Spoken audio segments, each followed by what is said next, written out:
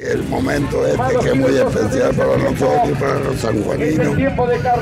Agradecerle a los chicos que han hecho, porque son, son todo un grupo de amigos los que han organizado esto, han puesto máquinas, muy, muchos gastos, porque se le debía esto al Alberto por su trayectoria. Y todos los amigos de de él que han sido alumnos, todos los hijos de ellos, y algunos han competido como el Bocha Ruiz, todo con el Alberto. Han trabajado muy mucho, agradecerle a ellos y darle las gracias por lo que han hecho. atrás, ¿eh? La Mónica es la original. La Mónica es la que lo llevó a entrenar todo él cuando era chiquito. Aquí tenemos historia, porque aquí nosotros hemos roto todos los tiempos.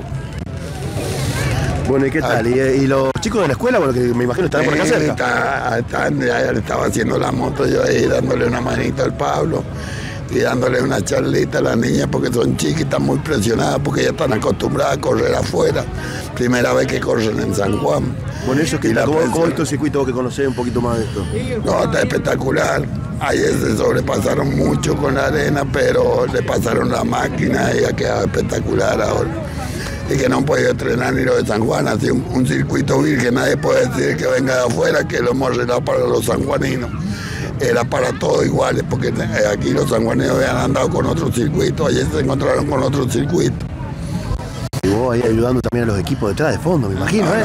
No, no, se, no se sale nunca de... No, yo, yo no participé más en ninguna carrera, no fui a ninguna carrera más después de lo del Alberto, porque no me he dado la nata para ir y bueno, ¿qué le va a hacer?